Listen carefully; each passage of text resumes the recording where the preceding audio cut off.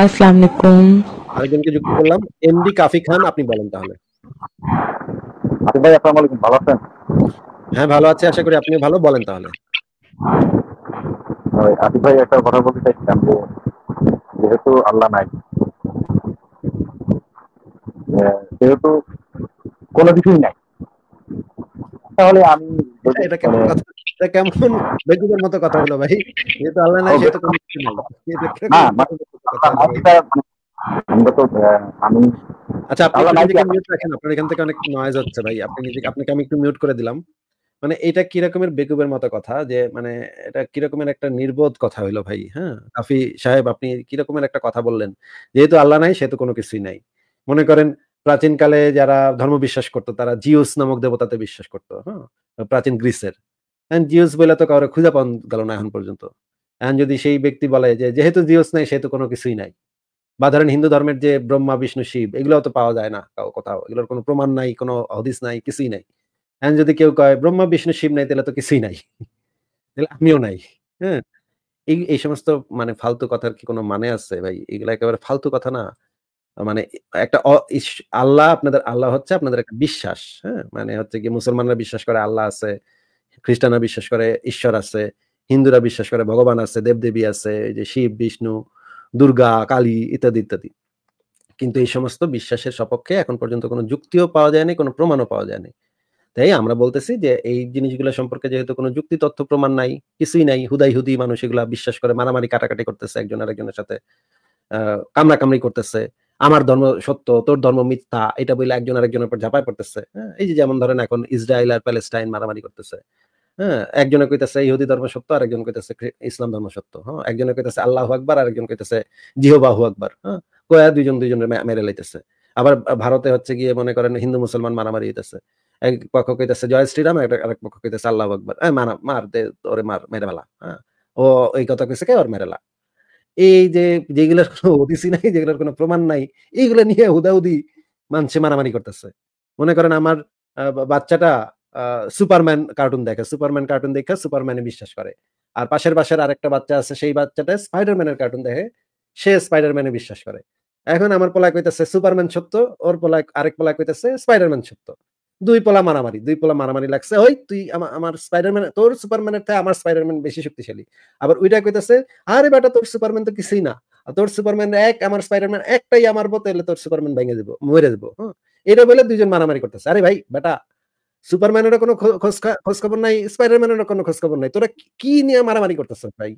তোরা যে মারামারি করতেছস, তোরা যে কামড়া কামড়ি করতেছস, তোরা তো সুপারম্যানও নাই স্পাইডারম্যানও কোনো হদিস নাই। এগুলো তো কাল্পনিক রূপ কথা, এগুলো তো কার্টুন এগুলো নিয়ে তো মারামারি করার কিছু নাই। তোরা মিলামিশা থাক, বেটা মানে আমি যদি দেখি এরকম আমার বাচ্চাদের করতে, আমি বলব যে, বেটা, তোরা মিলামিশা থাক, তোরা স্পাইডারম্যানও নাই সুপারম্যানও নাই। তোরা মিলামিশা মানে খেলাধুলা কর। মারামারি করিস না। এই কার, কার্টুন সত্য, কার কার্টুন ক্যারেক্টার সত্য, এটা নিয়ে মারামারি করার কি আছে? এগুলো তো কার্টুন, এগুলো তো মানুষ মানে মজা করার জন্য এগুলা দেখে বা মজা করার জন্য ওই টাইপের সিনেমা দেখে, কার্টুন দেখে দেখে মজা পায় মজা পায় আবার বিলা যায়। ওগুলোর তো এত সিরিয়াসলি নেওয়ার কিছু নাই।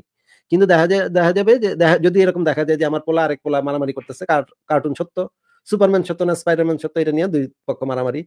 আরে বেটা মানে এগুলো কোনো, এগুলোর কোনো অর্থ আছে? পৃথিবীতে কত সুন্দর সুন্দর, ভালো ভালো কাজ আছে? তোরা গবেষণা কর, পড়ালেখা কর, জ্ঞান অর্জন কর মানুষে মানুষে কীভাবে সম্প্রীতি তৈরি হয়, মানুষে মানুষে কীভাবে ভেদাভেদ আমরা তুলে দিতে পারি, সেগুলো নিয়ে তোরা ইয়া কর।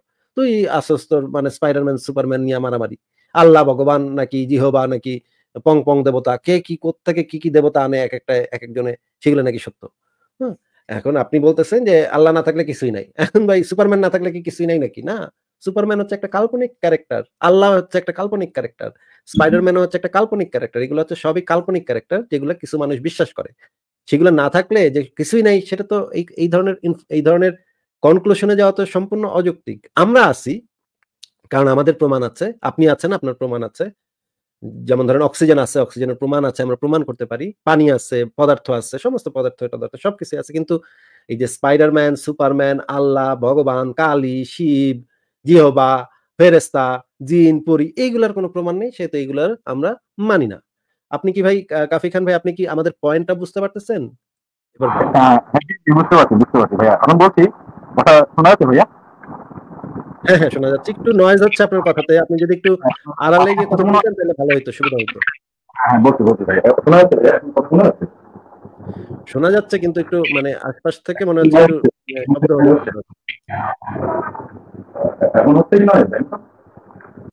আচ্ছা আমি আপনার ইয়েটা ঠিক করছি। আচ্ছা বলেন। আচ্ছা অসুবিধা নেই বলেন। ভাই, তাহলে এখন ধরেন আমি যদি অপরাধ করি, তাহলে তাহলে তার কোনো সমস্যা নেই, তাই না? ভাই আপনার কথা পরিষ্কার বোঝা যাচ্ছে না। আপনি আরেকবার একটু বলবেন? কি কথাটা বললেন? কথাটা বুঝি নাই। আমি যদি কোনো অপরাধ করি, কাউকে মারি, ধরি, কাটি বা কাউকে করি, এতে কোনো আমার তো লাভ ক্ষতি নেই, ঠিক না? ভাই কথা একেবারেই বোঝা যাচ্ছে না।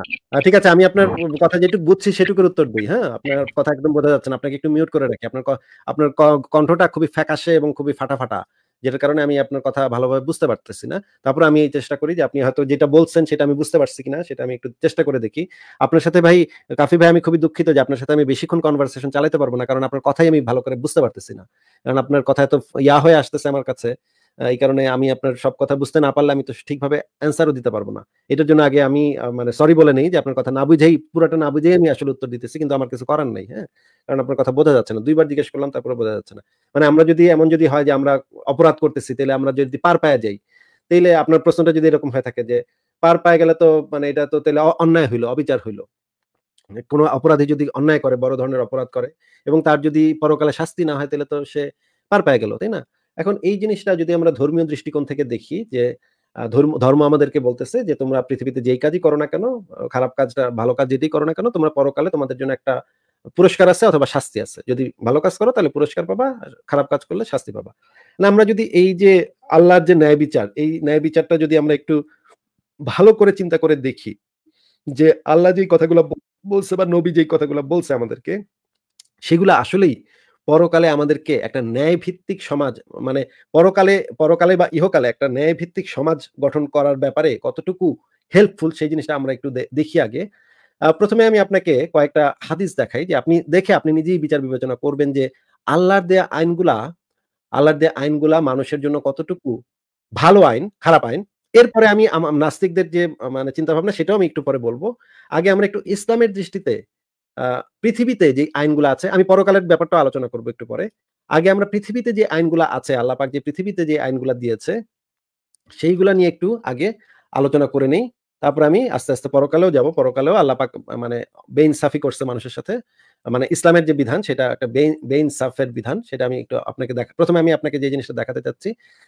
এটা হচ্ছে একটা বুখারি শরীফের একটা সহিহ হাদিস। হাদিসের নাম্বার হচ্ছে ৬৯১৫ এখানে বলা হচ্ছে একটা ইসলামিক দেশে, একটা সরিয়া ভিত্তিক দেশে কাফেরের বদলে মুসলিমকে হত্যা করা যাবে না। মানে হচ্ছে একজন মুসলিম যদি মুসলিমকে হত্যা করে তাহলে সেই যে হত্যা করছে তাকে মৃত্যুদণ্ড দিতে হবে। কিন্তু একজন মুসলিম যদি কাফেরকে হত্যা করে, মানে একজন মুসলিম যদি একটা ইসলামিক রাষ্ট্রে বসবাসকারী একজন কাফেরকে মেরে ফেলে, এটার জন্য মুসলিমের কোনো মুসলিমকে হত্যা করা যাবে না। মানে মুসলিমকে মৃত্যুদণ্ড দেওয়া যাবে না। এই বিষয়ে অনেকগুলো হাদিস আছে। সুনান ইবনে মাজার ২৬৫৮ নম্বর হাদিস, আবু দাউদের হচ্ছে তাহকিকৃত ৪৫৩০ নম্বর হাদিস যে কোন মুসলিমকে কোনো কাফের অপরাধে কাফের হত্যার অপরাধে হত্যা করা যাবে না। সুনান আবু দাউদের ৪৫৩১ নম্বর হাদিস, আরও অনেকগুলো ফতোয়াও আছে এই বিষয়ে। তার মানে হচ্ছে এই যে এই আইনটা দেখা যাচ্ছে যে একজন একটা ইসলামিক রাষ্ট্রে একজন মুসলিমের অধিকার এবং একজন কাফের অধিকারের ভিতরে একটা বড় ধরনের পার্থক্য সৃষ্টি করে। মানে একজন মুসলিম যেই অপরাধে মৃত্যুদণ্ড পাবে, মানে মুসলিম হত্যার অপরাধে যে একজন মৃত্যুদণ্ড পাবে কিন্তু একজন কাফের হত্যা করলে মানে কাফেরের জীবনের মূল্যটা হচ্ছে কম। একটা ইসলামিক শরিয়া রাষ্ট্রে কাফের কাফেরের জীবনের মূল্যটা হচ্ছে কম।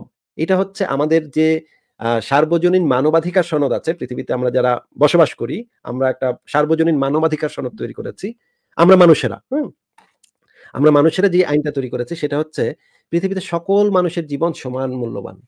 যেকোনো মানুষই হোক, সাদা চামড়ার হোক, কালো চামড়ার হোক, ছেলে হোক, মেয়ে হোক, হিজড়া হোক, বাঙালি হোক, জার্মান হোক, ইংল্যান্ডের লোক হোক, ভারতের লোক হোক, পাকিস্তানের লোক হোক, যেকোনো লোকের জীবনের মূল্য হচ্ছে সমান। এবং তাকে যদি হত্যা করা হয় তাহলে তার জন্য পানিশমেন্ট সমানভাবে কার্যকর হবে। মানে সাংবিধানিকভাবে বাংলাদেশের সংবিধানে এটা লেখা আছে প্রত্যেক নাগরিকের অধিকার এবং সম্মান সমান। এই জিনিসটা তো আপনি জানেন, তাই না? কাফি ভাই আপনি বলেন তো এই জিনিসটা আপনি জানেন কিনা?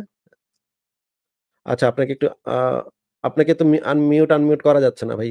আপনাকে আপনি একটু নিজেকে আনমিউট করে একটু এটার উত্তর দেন তো যে আপনি কি এটা জানেন কিনা যে একটা আধুনিক রাষ্ট্রে প্রত্যেক নাগরিকের জীবনের মূল্য সমান? জি জি জানি ভাই সমান। কিন্তু ইসলাম এখানে বলতেছে ইসলামিক শরিয়া রাষ্ট্রে একজন কাফেরের জীবনের মূল্য হচ্ছে অর্ধেক। একজন মুসলিমের আচ্ছা আপনাকে আবার একটু মিউট করছি। আপনার কথা মানে আপনার এখান থেকে সাউন্ড হচ্ছে। এই যে আমি যে বললাম একজন কাফের জীবনের মূল্য যে অর্ধেক, এটা আমি কোথা থেকে বললাম? এটা কি আমি বানায় বানায় বললাম? নাকি এইটা দলিল আছে? আমি দলিল দেখা দিচ্ছি। আমি যে যখনই কোনো কথা বলি, তখন আমি সাথে সাথে দলিল গুলাও দেখা দিই। দলিলগুলা থেকে আমি জানি দরকার নাই এক মনে এক্সপার্ট এটা না। আমি শুধু জানতে চাচ্ছিলাম যে ভাইয়া, যে মানে আমি যদি যাই কিছু করি, সেহেতু কোনো পরকালই কিছু নাই। তাহলে আমি দুনিয়াতে প্লিজ ভাই কাফি ভাই ওটাতে আমি আসতেছি। আস্তে আস্তে স্টেপ বাই স্টেপ আমি আগাই তো। একটু ধৈর্য ধরেন আমি ওইটা তো আসব ঠিক আছে? ওইটা তো আপনি টেনশন নিয়েন না। আমি আপনাকে এক নজরে একটু দেখা দিই যে একজন মুসলিমের একজন মানে কাফের মানে জীবনের মূল্য হচ্ছে ইসলামের দৃষ্টিতে অর্ধেক। এই যে দেখেন সুনান ইবনে মাজা ছাব্বিশশো চুয়াল্লিশ নম্বর হাদিসে বলা আছে রাসুল্লাহ সাল্লাম ফয়সালা দেন যে দু আহলে কিতাব সম্প্রদায় অর্থাৎ ইহুদিন আসারাদের দিয়াত দিয়াত হবে মুসলমানদের দিয়াতের অর্ধেক। মানে জরিমানাটা হবে মুসলমানকে মারলে যতটা জরিমানা হবে ইহুদিন আসারাদ ইহুদিন আসারাদেরকে মারলে ইহুদিন আসারাদের দিয়াত হবে মুসলমানের অর্ধেক, ঠিক আছে? তার মানে হচ্ছে একজন কাফের জীবনের মূল্য হচ্ছে কম ইহুদিন আসারের জীবনের মূল্য হচ্ছে অর্ধেক, আর মুশ্রিকের জীবন তো আরও মূল্যহীন ইসলামের দৃষ্টিতে, ঠিক আছে? এখন আমি আপনাকে যেটা দেখালাম যে একটা ইসলামিক, ইসলাম ইসলামের ভিত্তিতে সরিয়া রাষ্ট্রে দুইজন নাগরিকের, একজন কাফের এবং একজন মুসলিমের জীবনের মূল্য সমান না জীবনের মূল্য হচ্ছে অর্ধেক বা তার থেকেও কম।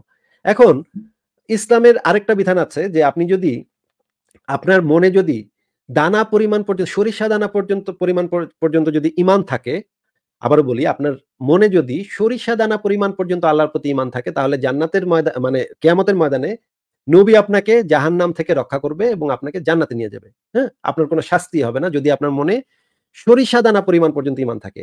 আপনি যদি খুন করেন, আপনি যদি ধর্ষণ করেন, আপনি যদি গণহত্যাও চালান এমনকি, আপনি যদি লাখ লাখ মানুষকে হত্যা করে ফেলেন কিন্তু আপনার মনে যদি সরিষা দানা পরিমাণ পর্যন্ত যদি ইমান থাকে, তাহলে আপনি আল্লাহ নবীর উসিলায় আপনি জান্নাতে প্রবেশ করবেন। আপনার জাহান নামে যাইতে হবে না। এই হাদিসটা কি আপনি দেখতে চান? যে মানে যতক্ষণ খারাপই করেন না কেন, যত ধর্ষণই করেন না কেন, আপনি আসলে যদি আপনার মনে আল্লাহর প্রতি সামান্য পরিমাণ পর্যন্ত যদি ইমান থাকে তাহলে যে আপনি জান্নাতে প্রবেশ করবেন এই হাদিসটা দেখতে চাইলে আপনি একটু আনমিউট করে বলেন যে দেখতে চাই দেখতে চাই কারণ আমি এটা তো বিশ্বাসই করি না। আমি যদি বলছি যে যেহেতু আমি বিশ্বাসই করি না কারণ দুনিয়াতে যাইতে তাই করলে সমস্যা কি চলেই বলতে পারি। না না আমি তো বিশ্বাসই করি ভাই কথা বুঝেন না কেন? কথা বুঝেন না কেন? কথা বুঝেন না কেন? এখন আমি ইসলামের দৃষ্টিতে আলোচনা করতেছি। একটু পরে আমি আচ্ছা আপনাকে একটু মিউট করি ভাই। এখন আপাতত আমি ইসলামের দৃষ্টিতে ইনসাফটা কেমন সেটা আলোচনা করতেছি। হুম? একটু পরে আমি আমরা যারা নাস্তিক আমরা যেটা মনে করি সেটা নিয়ে একটু পরে আলোচনা করব। এই আপাতত আমরা ইসলামকে ইসলাম ইনসাফ প্রতিষ্ঠা করে কিনা সেটা আলোচনা করতেছি। কথা কি বুঝতে পারতেছেন নাকি বোঝেন না বলেন তো বুঝতেছেন? হ্যাঁ, আচ্ছা ঠিক আছে একটু মিউট রাখেন। আপনি কি সেই হাদিসটা দেখতে চান যে আপনার মনে যদি সরিষা দানা পরিমাণ পর্যন্ত যদি ইমান থাকে এবং আপনি যতক্ষণ খারাপই করেন না কেন আপনি যে জান্নাতে যাবেন এই হাদিসটা কি দেখতে চান নাকি দেখতে চান না? না এটা জানি দেখার দরকার নেই আচ্ছা একজন ব্যক্তির হাদিস আছে যে ব্যক্তিটা একশোটা খুন করছিল। একশোটা খুন করার পরে সে জান্নাতে গেছে। এবং ধর্ষণ, টর্ষণ, খুন, টুন, খারাপি ব্যবচার যাই করেন না কেন, আপনি আপনার মনে যদি ইমান থাকে, তাহলে যে আপনি জান্নাতেই যাবেন, এটা কিন্তু হাদিসের ভিতরে একদম পরিষ্কার ভাবে বলা আছে। আমি আপনাকে সেই হাদিসটা একটু দেখা দিই যে আপনি যতক্ষণ খারাপই করেন না কেন, ইসলামের বিশ্বাস করলেই শেষ পর্যন্ত আপনি আসলে ইসে চলে যাবেন, জান্নাতে চলে যাবেন। দেখেন আমি, এবং এবং আরেকটা বিষয় হচ্ছে যে, আপনি যদি কাফের হন আপনি যত ভালো কাজই করেন না কেন, যত ভালো কাজই করেন না কেন, মনে করেন এই যে আমাদের যে ম্যান্ডেলা আছে, ম্যান্ডেলা সারা জীবন কালো মানুষদের অধিকারের, অধিকার সংগ্রাম, অধিকারের জন্য সংগ্রাম করছে, জেল খাটছে সাতাইশ বছর জেল খাটছে ভাই হ্যাঁ ম্যান্ডেলা, ম্যান্ডেলার নাম তো নিশ্চয়ই আপনি শুনছেন, ম্যান্ডেলা কিন্তু একজন বিরাট মানুষ হ্যাঁ একজন বিরাট মানবিক মানুষ এবং একজন আমাদের একজন মানে লিডার আমাদের একজন মানে মহামনীষী যাকে আমরা বলতে পারি, যে সারাটা জীবন তিনি ব্যয় করছে, এই কালো মানুষদের অধিকার সাদা মানুষ এবং কালো মানুষের অধিকার যে সমান, এটা প্রতিষ্ঠা করার জন্য ম্যান্ডেলা লড়াই করছে। আব্রাহাম লিঙ্কন আব্রাহাম লিঙ্কন তার জীবনের একটা বড় সময় ব্যয় করছে হচ্ছে দাসদের অধিকার প্রতিষ্ঠা করতে। তার মানে নেতৃত্বেই আসলে পৃথিবীতে দাস প্রথা যে এখন, আগে ছিল, সেটা বিলুপ্ত হয়ে গেছে। এখন প্রত্যেকটা মানুষের অধিকার এখন সমান, কেউ এখন আর দাস নাই। এই যে এই দুজনের, এবং আরেকজনের নাম আমি বলতে পারি বেগম রোকেয়া বা ধরেন ঈশ্বরচন্দ্র বিদ্যাসাগর, না, বেগম রোকেয়াবাদ ঈশ্বরচন্দ্র বিদ্যাসাগর, তিনি ভারতের একজন মহামানব ছিলেন, আমার অত্যন্ত প্রিয় একজন ব্যক্তি, ঈশ্বরচন্দ্র বিদ্যাসাগর। এই তিনজনের নাম তো আপনি শুনছেন, কাফি ভাই বলেন তো, একটু আনমিউট করে তিনজনের নাম শুনছেন না? এই তিনজন কোথায় যাবে, জান্নাতে যাবে নাকি জাহান্নামে যাবে? ইসলামের দৃষ্টিতে বলেন তো। যেহেতু ভালো কাজ করছে, ইসলামের দৃষ্টিতে তাহলে জান্নাতেই যাবে। এরা ভালো কাজ করলে তো জান্নাতে যাবে না কারণ হাদিসে তো পরিষ্কার বলা আছে যে মুসলমান ছাড়া মুসলিম প্রাণ ছাড়া কোনো ব্যক্তি জান্নাতে প্রবেশ করবে না। এটা আমি কোথা থেকে বললাম তাহলে। হাদিসটা দেখা দিই আপনাকে। কোরআনে তো ওটা বলেনি কোরআনে তো বলছে যে এটা বলা আছে, যে কেউ জান্নাত কোরআনে এটা বলা আছে। একদম মানে সরাসরি পরিষ্কার ভাবে বলা আছে কোরআনেও। আহ, কোরআন থেকে দেখাবো কোনো অসুবিধা নেই। আপনার যদি কোরআন থেকে দেখতে হয় তাহলে কোরআন থেকেও দেখাবো অসুবিধা নেই। এটা হচ্ছে রিয়াজুস সালেহিন গ্রন্থের এটা হচ্ছে অনেকগুলো হাদিসের ভিতরে আছে, বুখারি শরীফে, মুসলিম শরীফে, তিরমিজি শরীফে, ইবনে মাজা, আহমদ। এই হাদিসের চারশো ছত্রিশ নম্বর হাদিসে বলা আছে, শুধুমাত্র মুসলিম প্রাণ ছাড়া অন্য কেউ জান্নাতে প্রবেশ করবে না। ভাই, দেখা যাচ্ছে হাদিসটা? জি ভাই, দেখা যাচ্ছে। এটা একটা সহি হাদিস, অনেকগুলো হাদিস হাদিস গ্রন্থের ভিতরে আছে। আর কোরআনেও বলা আছে, সুরা আল ইমরানের পঁচাশি নম্বর আয়াতে বলা আছে, দেখেন, আর যে কেহ ইসলাম ব্যতীত অন্য ধর্ম অন্বেষণ করে, তা কখনোই তার নিকট গৃহীত হবে না এবং পরকালে সে ক্ষতিগ্রস্তদের অন্তর্ভুক্ত হবে। লাইনটা দেখা গেছে ভাই। এটার মানে কি? ইসলাম ব্যতীত অন্য কোনো ধর্ম অন্বেষণ করে, তা কখনোই তার নিকট গৃহীত হবে না এবং পরকালে সে ক্ষতিগ্রস্তদের অন্তর্ভুক্ত হবে। কথার মানে কি? আচ্ছা এটা কি সহি হাদিস? আমি তো মানে হাদিস যে সহি এটা আরে ভাই এটা কোরআনের আয়াত দেখাচ্ছি সূরা আল ইমরানের পঁচাশি নম্বর আয়াত দেখাচ্ছি এটা কোরআনের আয়াত। ও কোরআনের আয়াত সরি সরি হ্যাঁ ভুল হয়ে বুঝতে পারেন। এই যে এখন যেটা দেখাচ্ছে সেটা কোরআনের আয়াত। এখানে বলা হচ্ছে আর যে কেহ ইসলাম ব্যতীত অন্য ধর্ম অন্বেষণ করে তা কখনোই তার নিকট মানে আল্লাহর নিকট গৃহীত হবে না এবং পরকালে সে ক্ষতিগ্রস্তদের অন্তর্ভুক্ত হবে। মানে ইসলাম ব্যতীত অন্য কোনো কিছু যদি আপনি করেন এমনকি অন্বেষণও করেন তাহলে আপনি ক্ষতিগ্রস্তদের অন্তর্ভুক্ত হবেন মানে জাহান্নামী হবেন চিরস্থায়ী জাহান্নামী। কাফেরদের সম্পর্কে আরও অনেকগুলো আয়াত আছে যেখানে বলা হয়েছে তারা চিরস্থায়ী জাহান্নামী। মানে কখনোই জান্নাতে যাবে না। যে পরকালে তো জান্নাতই নাই পরকালে জান্নাতে যায় যায় কি হবে? এটা তো ইসলামের দৃষ্টিতে আছে ভাই ভাই আমরা আপাতত ইসলামের ইনসাফটা নিয়ে আলোচনা করছি। বারবার আপনাকে বলতেছি আপনি মানে কথা কি বোঝেন না নাকি বুঝলাম না। আপনাকে বারবার আমি আমরা আপাতত আপাতত আচ্ছা ঠিক আছে আপনি একটু নিজেকে মিউট করেন। ভাই আপনাকে আমি বারবার যেটা বলেছি যে আমরা আপাতত ইসলামের ইনসাফের ধারণাটা নিয়ে আমরা আলোচনা করতেছি। ইসলাম ইনসাফকে কীভাবে দেখে? তার মানে হচ্ছে মনে করেন আপনার আহ, মানে একটা কাফের মেয়েকে একটা হিন্দু মেয়েকে পাঁচটা মুসলিম ছেলে মিলে ধর্ষণ করল। এবং ধর্ষণ করার পরে কাফের হিন্দু মেয়েটাকে মেরে ফেলল। এখন এই যে পাঁচজন ধর্ষক, এই পাঁচজন যে ধর্ষণটা করল মুসলিম তারা তারা মনে করেন বুড়াটুরা হয়ে মানে আল্লাহর উপর একটু একটু বিশ্বাস ছিল, একটু একটু বিশ্বাস নিয়ে মারা গেল। এবং মারা যাওয়ার পরে কি হবে? মারা যাওয়ার পরে এই পাঁচজন ধর্ষক, তারা হচ্ছে কেমতের ময়দানে আল্লাহ নবী তাদেরকে দেখবে যে তাদের মনে সরিষা দানা পরিমাণ পর্যন্ত ইমান আছে কিনা, তারপরে দীক্ষা তাদেরকে জান্নাতে নিয়ে যাবে। ড্যাং ড্যাঙ্গায় তারা জান্নাতে যাবে এবং যে কাফের মেয়েটা যে মারা গেল সেই মেয়েটা কই যাবে? সেই মেয়েটা, হয়তো ছোট মেয়ে, বাচ্চা মেয়ে ধরেন তার বয়স পাঁচ ছয় বছর বয়স, দশ বছর বয়স। সেই মেয়েটা কই যাবে? সেই মেয়েটাকে তো মুসলমান, পাঁচজন মুসলমান পুরুষ মিলে ধর্ষণ করে মেরে ফেলছে। সে কই যাবে? সে জাহান্নামে যাবে। কারণ তার তো মানে ইয়াই হিন্দু, সে তো হিন্দু ফ্যামিলির মেয়ে, সে তো জাহান্নামে যাবে। তার মানে এই হচ্ছে আপনাদের ধর্মের ইনসাফের কনসেপ্ট যে, আপনি যে প্রশ্নটা করলেন যে কেউ যদি অনেক অপকর্ম করে, খারাপ কাজ করে, খুন ধর্ষণ করে, তাহলে সে, তাহলে তার বিচারটা কি হবে? এই যে আপনি যে বিচারটা, যে ইনসাফের কথাটা বললেন, ইসলামে তো ইনসাফ বলে কিছু নাই ভাই। বরঞ্চ ইসলামে যে জিনিসগুলো আছে, সেগুলো অত্যন্ত জঘন্য কথাবার্তা। এই যে আপনাকে আমি কয়েকটা উদাহরণ দেখাইলাম, এরকম আরও অনেক উদাহরণ আমি দেখাতে পারি, যদি আমি সময় পাই। তাহলে অসংখ্য উদাহরণ দেখাতে পারব যে ইসলামের যে ইনসাফ, সেটা অত্যন্ত ইনসাফ বলে তো কিছু নাই, বরঞ্চ অত্যন্ত নোংরা, বর্বর, অসভ্য কথাবার্তা বলা আছে ইসলামের ভিতরে। আর আমরা যেটা বলছি এবার আসি যে আমরা কি মনে করি? যে কেউ যদি অপরাধ করে, অন্যায় করে, তাহলে তার কি করব? তাকে নিয়ে আমরা কি করব? তাদেরকে নিয়ে আমরা কি করতে পারি? আমরা যারা ধর্মে বিশ্বাস করি না, যারা ঈশ্বরে বিশ্বাস করি না, তারা মনে করি যে প্রত্যেকটা অপরাধ যখন হয়, তখন আমরা সেই অপরাধগুলাকে দমন করার জন্য আমরা মানুষেরা ধীরে ধীরে ধীরে ধীরে এই সভ্যতাটা তৈরি করেছি সমাজটা তৈরি করেছি, আইন এবং বিচার কাঠামো তৈরি করেছি যে আইন এবং বিচার কাঠামোতে প্রত্যেক মানুষ যেন ন্যায় বিচার পায়, সেইটার সর্বোচ্চ চেষ্টা আমরা করি। আমরা চেষ্টা করি, একটা সংবিধান তৈরি করেছি আমরা। পৃথিবীতে অনেকগুলা দেশ আছে, সেই দেশের এক একটা সংবিধান আছে, আইন আছে বিচার বিচার পদ্ধতি আছে। সেই জিনিসগুলা আমরা মানুষেরাই তৈরি করেছি। এই যে এই সমাজের ভিতরে যারা যারা অন্যায় করে, অপরাধ করে, সেগুলাকে দমন করার জন্য, আমরা তো পরকালের জন্য বৈশা থাইকা বা যে জিনিসটা পরকালে ভাই বিচার হইব, ভাই এই যে খুন করছে না বেটা, এইটার ভাই পরকালে আল্লাহ খুব বাড়ি দেবে এটারে। এইগুলা নিয়ে আমরা বৈশা থাকি নাই।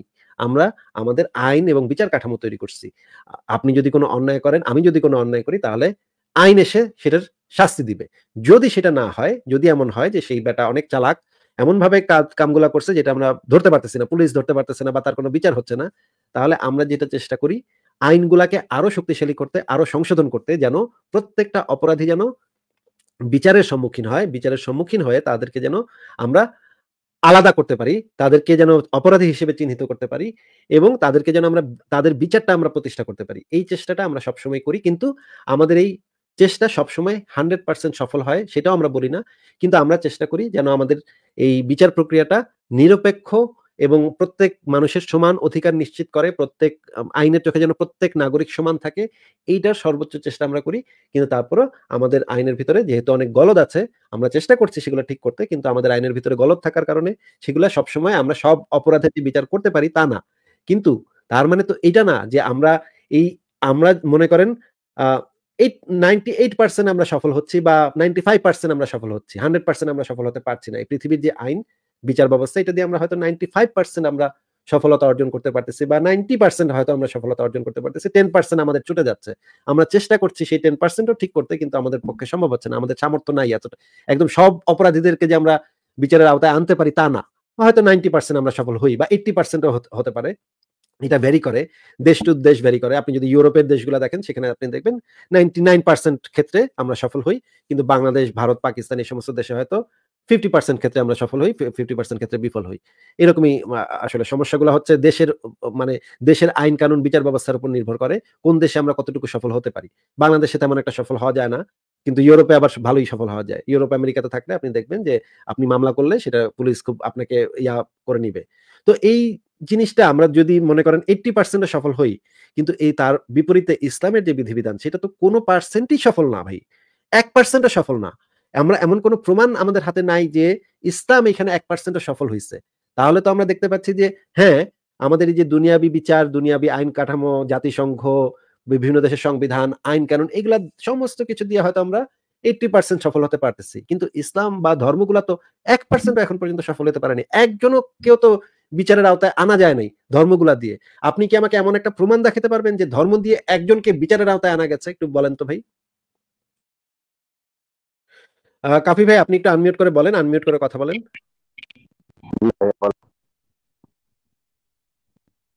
কাফি ভাই আপনার কথা শোনা যাচ্ছে না। আপনি একটু আনমিউট করে কথা বলেন। হ্যাঁ, বলেন। না ভাই আপনার কথা শোনা যাচ্ছে না। তাহলে আপনি একটু বের হয়ে আবারও যুক্ত হন। আপনার কথা একেবারেই এখন গেছে। একেবারে মানে পুরাই গেছে এখন। ঠিক আছে তাহলে আরেকজনকে যুক্ত করি। আ